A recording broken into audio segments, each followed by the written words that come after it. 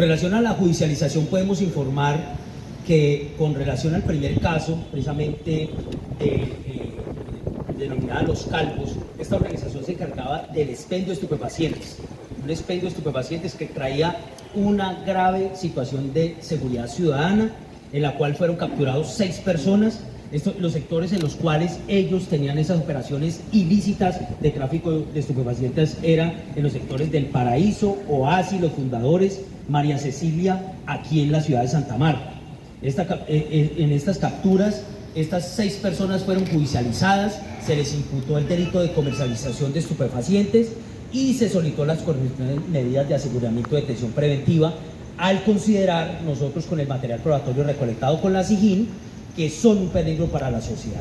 El segundo caso, conocido como los nocturnos, en este caso tres personas judicializadas, eh, como lo señala el señor coronel, en Taganga, estas personas tenían la modalidad de hurtarle a extranjeros especialmente eh, con la finalidad de apropiarse de sus bienes. Este es un sector que nosotros eh, en el trabajo articulado que hemos hecho con las entidades es fundamental para la protección de los turistas. El turista puede llegar a la una de la mañana y debemos protegerlo para que llegue con todos sus bienes y pueda disfrutar de ese sector turístico de nosotros. En eso es la importancia de este caso. En Taganga, estas tres personas también judicializadas, se les imputó el delito de hurto calificado y agravado. Se solicitó la correspondiente medida de aseguramiento de detención preventiva, la cual fue aceptada por nuestro señor juez y nos llevó a que en este momento esté en establecimiento carcelario. Y el, y el tercer caso, como lo señala, uno de los delitos que mayor trascendencia trae también al transporte público.